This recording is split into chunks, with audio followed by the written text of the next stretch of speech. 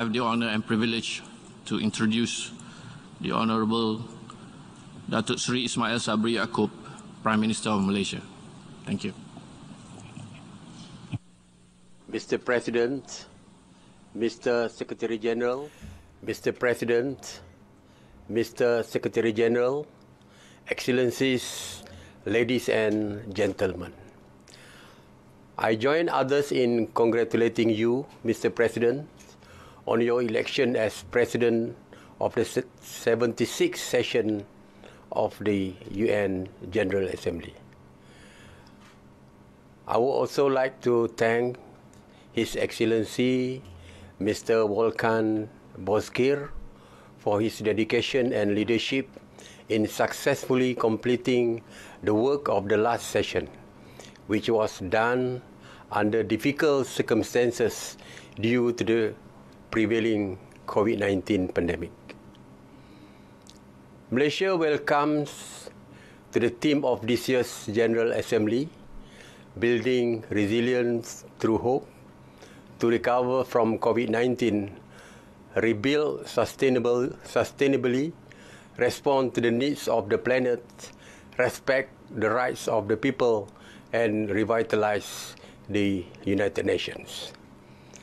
The team serve as a stark reminder of what needs to be done and the long road we have before us. Mr. President, Malaysia is fully committed in managing, overcoming, and recovering from this deadly pandemic. No one is safe unless everyone is safe. We must fight this battle together. Our common mission in these unprecedented times call us to recognize that humankind is one big extended family. It is in that spirit that we in Malaysia have very consciously referred to ourselves as Keluarga Malaysia.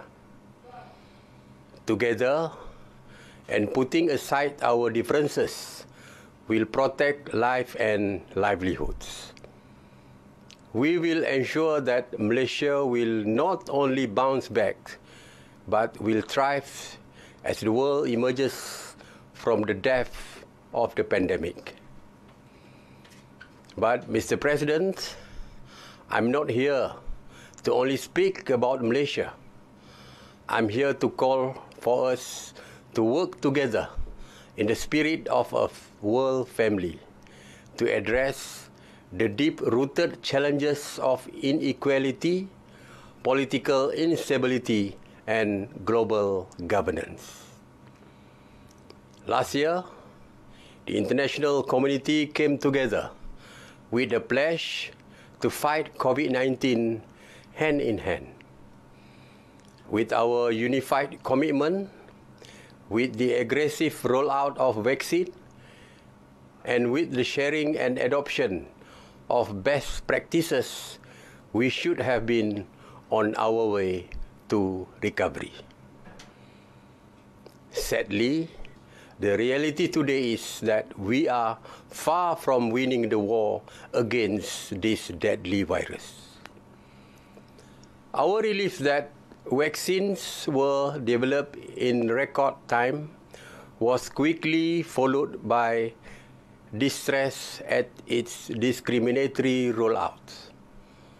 While most vaccine producing nations, as well as those that have the financial means, have achieved some measure of success, the majority of the world's population mainly from the middle income and least developed countries, remain unvaccinated.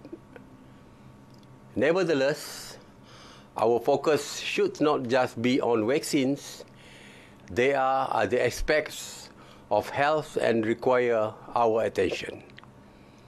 Many health challenges transcend national borders. COVID 19 is just the latest challenge besetting us.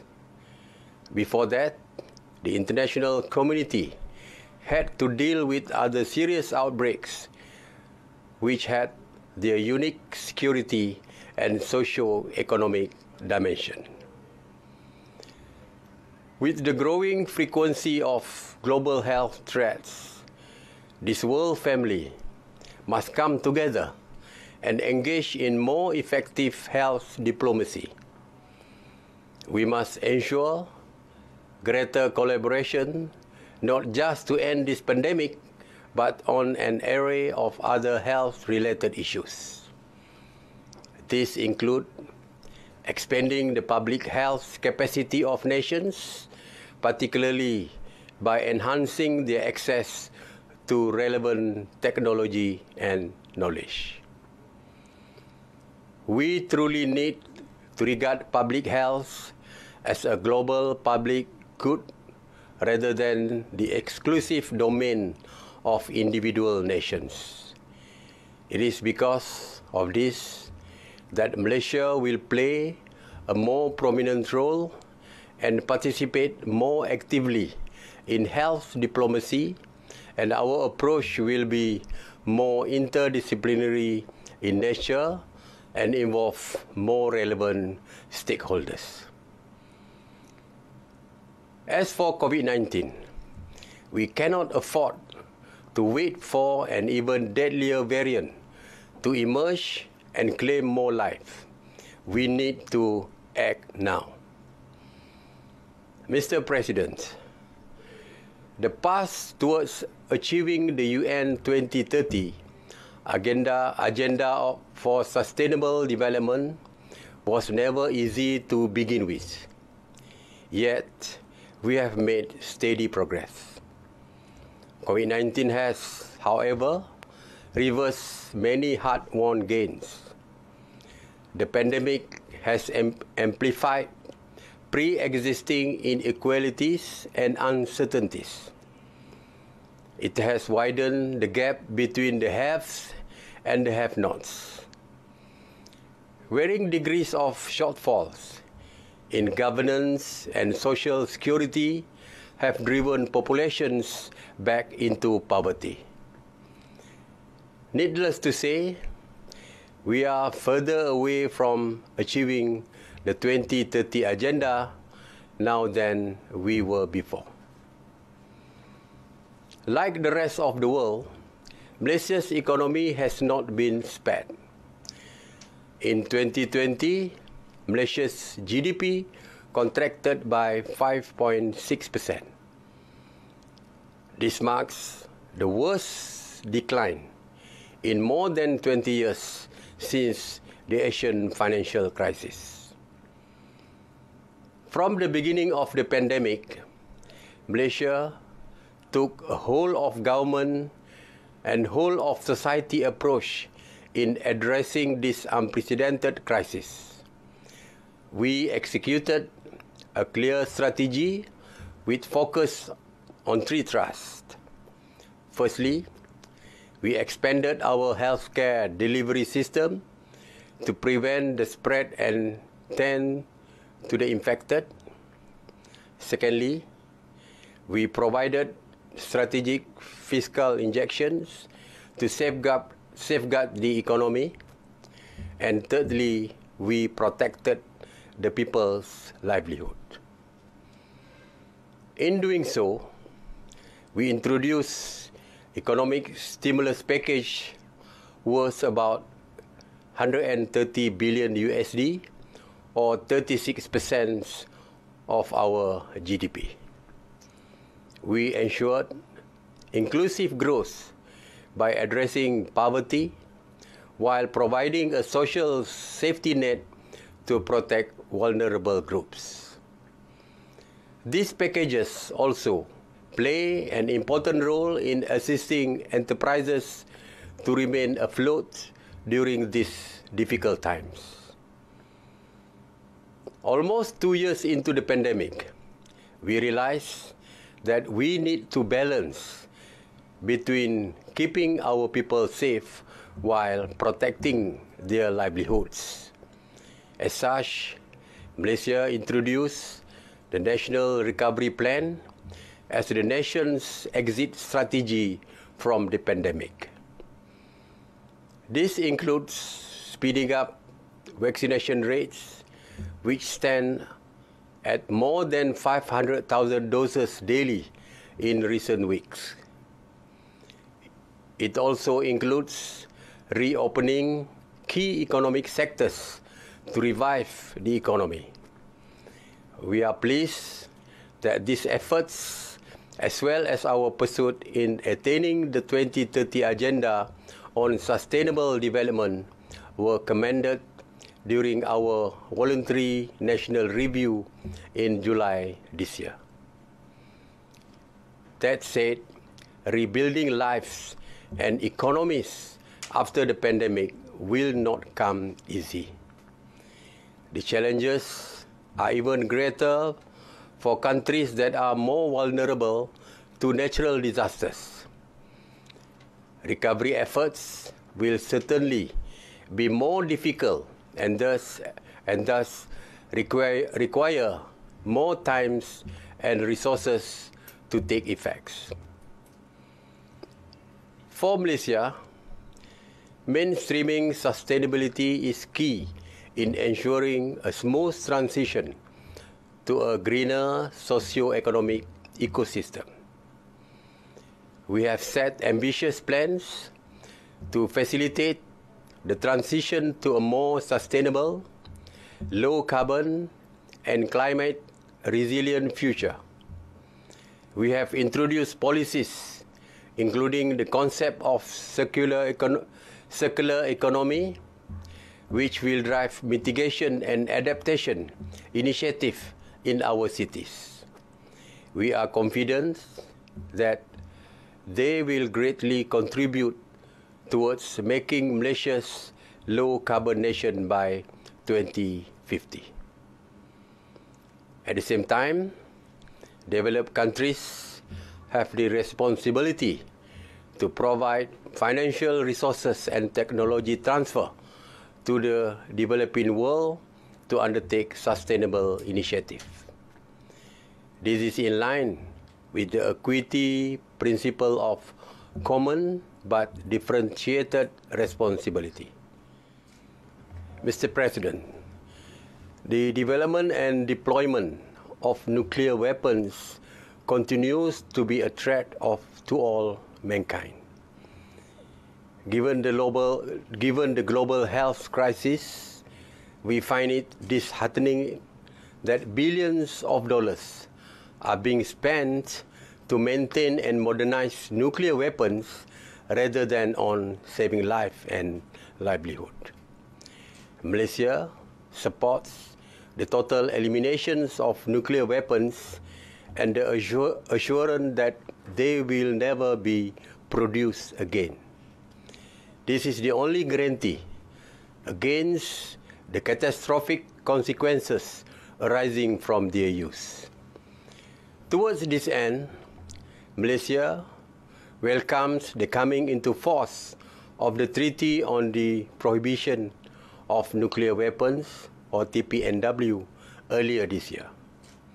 Malaysia reaffirms its commitment to the Treaty of Non-Proliferation of Nuclear Weapons, NPT, and as chair of Main Committee 1 on Nuclear Disarmament for the 10th NPT Review Conference, we will strive towards bringing state parties together and do our best to steer deliberations towards a fruitful outcome. Mr. President, Malaysia has always been a firm believer in all efforts and initiatives that promote peaceful coexistence between nations, between different peoples, and between different faiths and cultures. As a multicultural, multiracial, and multi-religious country, Malaysia strongly believes that we have been practicing can also be applied to the entire world. At the same time, we are a strong proponent of multilateralism. Both multilateralism and peaceful coexistence are mutually reinforcing. we need to realize that as we progress further, we should be far more integrated and stronger as a family of nations.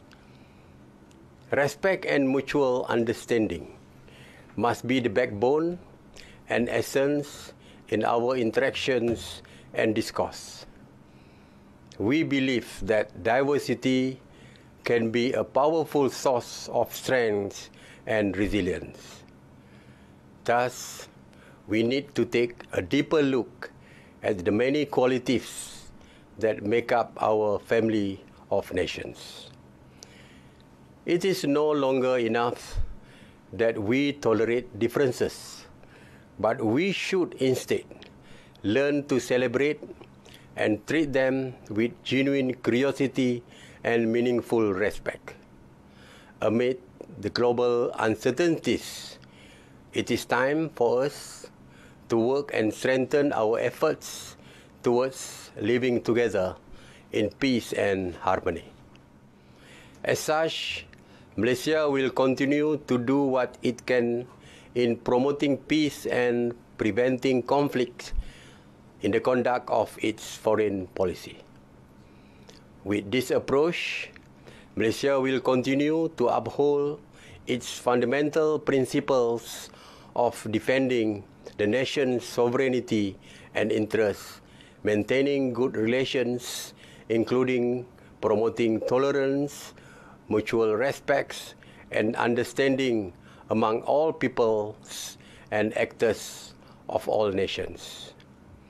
As a member state of ASEAN, Malaysia is committed in preserving ASEAN region as a zone of peace, freedom and neutrality Zofan.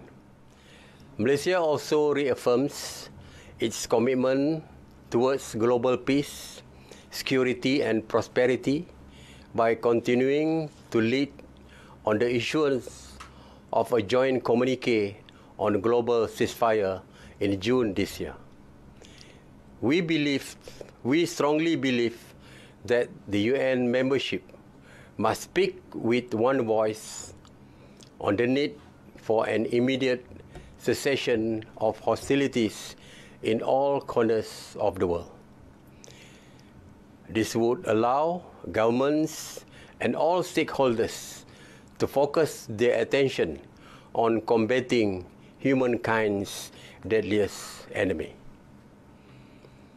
Nevertheless, Mr. President, it is unfortunate that we are far from realizing this global ceasefire. Many places are still experiencing instability. The situation in Myanmar remains of grave, grave concern.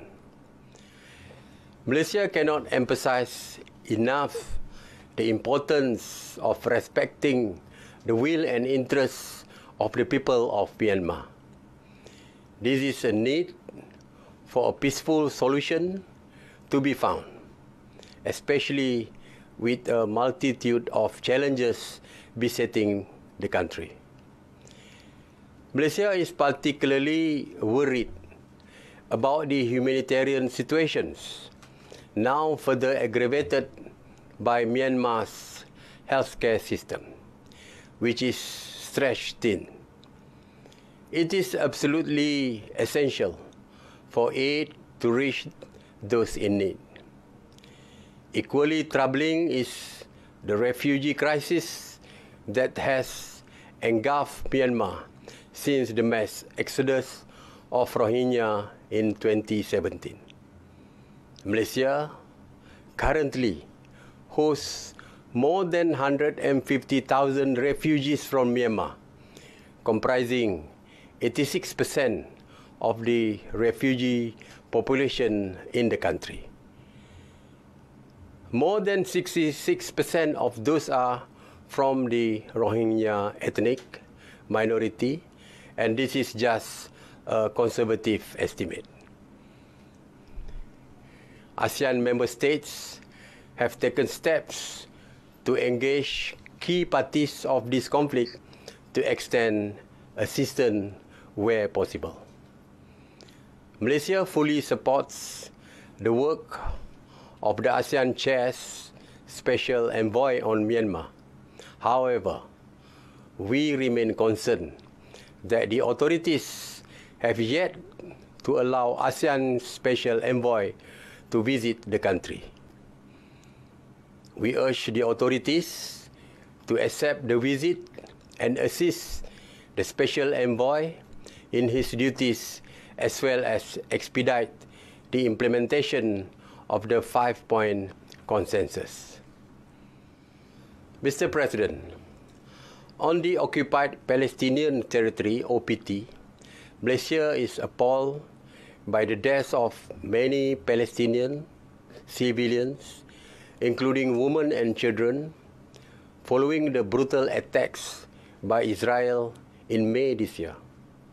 We strongly condemn repeated violations and aggressions by Israeli forces and settlers against Palestinian worshippers in Al-Aqsa Mosque. The targeted aggression against worshippers is indeed contemptuous to all Muslims or for any peace-loving religion. In fact, let us be truly frank about what is happening in the OPT. The systematic oppression of Palestinians over many years through discriminatory policies, denial of basic civil rights, imposition, imposition of harsh conditions, large-scale land confiscation, and inhumane acts committed against them is tantamount to the crime of apartheid. Yes, Mr. President, apartheid still exists in this world, and most of us are just turning a blind eye to this. Malaysia stresses again that Israel must be held responsible and accountable for all its wrongdoing, including its flagrant violations of international law. We welcome the establishment of an international commissions of inquiry by the Human Rights Council, Human Rights Council to investigate violations of international human rights law during the 11th day crisis. Malaysia continues to call for the deployment of a temporary international presence in the city of Al-Quds to monitor the cessation of hostilities in the OPT. The international community must spare no effort to ensure the safety, protection, dignity and well-being of the Palestinian civilian population. While generations have had to endure this oppression, it is time that we pay attention to the voices, voices and roles of the younger generation of Palestinians. It is time to give them a better future. They have been suffering in dreadful living conditions under illegal Israeli occupation for so many years, and we cannot allow this to continue indefinitely. Malaysia has and will continue to lend its unwavering support and solidarity to the Palestinians. Turning to the situation in Afghanistan, Malaysia is appalled by the terrorist attack outside the Hamid Karzai International Airport last month. The attack resulted in the loss of innocent lives with many more injured. Malaysia expresses its deepest condolences to the bereaved families of the victims. We also wish those injured a full recovery. Malaysia condemns terrorism in all its form and manifestations. The region cannot be allowed to be turned into a fertile breeding ground for terrorism again. The world family must come together to support Afghanistan in this time of need, including by extending humanitarian assistance to the people. On this, Malaysia stands ready to extend, to extend its existence, assistance and do what it can. Mr. President, the UN has been in existence for over 75 years. In that time, the world has changed significantly. As such, the UN must keep pace with a rapid, rapidly changing world as it continues to face a crisis of expectations. Reform is necessary to strengthen the UN's effectiveness as a multilateral organization to bring more transparency to it and to enhance its credibility. On this, we must work together to reform the organizations, and we hope member states will demonstrate openness, flexibility, and political will in the interest of international peace, security, and prosperity. Mr. President, during its inception, we looked to the, to the United Nations to save humanity from the scourge of war. Today, we place our resolve in the UN and its member state to save humanity from the scourge of the global pandemic. The pandemic has shown that we need to improve our resolve to strengthen international cooperation and multilateralism and consider ourselves as a family of nations. At the same time, the world family must be made a more peaceful, prosperous, sustainable, and equitable one we must close ranks and enhance our unity and cohesion. We must live in peaceful coexistence. Only then we will have a chance to succeed. Thank you. Thank you.